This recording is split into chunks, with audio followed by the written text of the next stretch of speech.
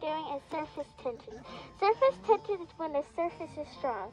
And when you add milk and soap, it makes the surface weak and then being slide across the surface like food coloring.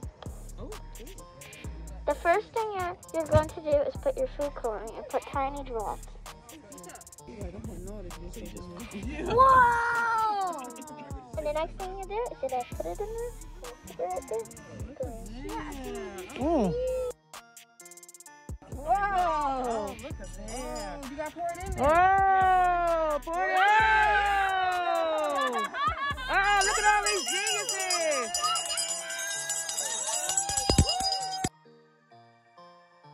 The next thing you're going to do is pull your balloon open like this and you're going to try to get all the way on the balloon. You got to stretch it. Just Do you stretch need it some open. help?